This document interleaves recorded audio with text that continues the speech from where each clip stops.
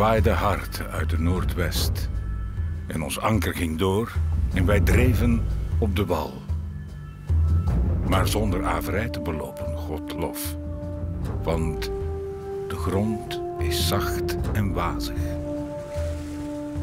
In het geval dat op dit eiland enige indianen mochten wonen, of dat pretenderen, mogen we ze niet met geweld en dreigementen verdrijven, maar hen met goede woorden ertoe overhalen weg te gaan of bij ons te blijven wonen. We moeten een contract met ze maken dat ze op hun eigen manier zullen ondertekenen.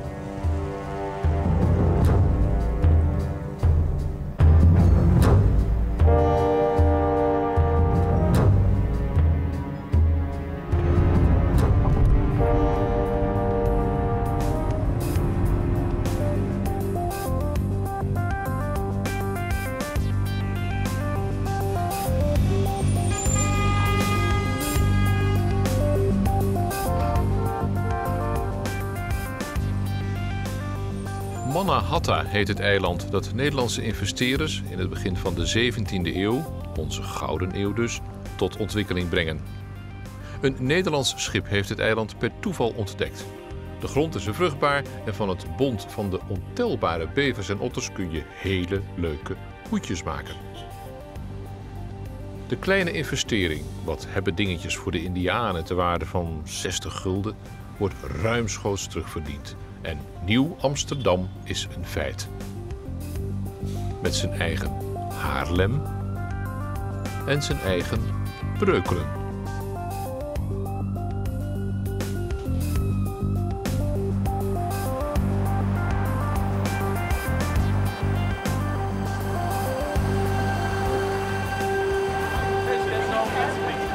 Then he didn't even know if she was dead. They threw her out in the ocean, New York. De aandelenbeurs van Wall Street. Je zou denken, Amerikaanse kan het niet. Maar eigenlijk moet je zeggen, Nederlandse kan het niet. Dit stuk New York was ooit eigendom van de Nederlanders. Het systeem met aandelen is een Nederlandse vinding die door anderen is nageaapt. En die naam Wall Street ah -ah, komt van het Nederlandse Walstraat. Wie dus op zoek gaat naar onze geschiedenis van de Gouden Eeuw, kan niet om New York en de Walstraat heen.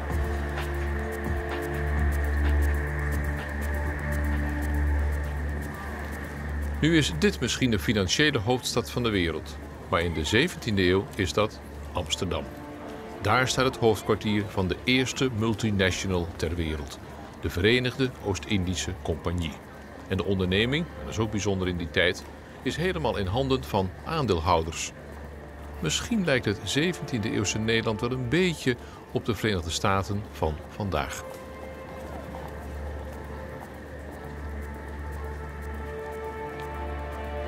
Amerika is het land waar je als eenvoudige ondernemer ontzettend rijk kunt worden. Als je maar genoeg zakelijk talent hebt en keihard wilt werken. Maar als je mislukt, val je ook diep en is er niemand die je opvangt. Het is een beetje als met de 17e eeuwse Republiek der Nederlanden. Bruisend, vol energie, maar ook erop of eronder.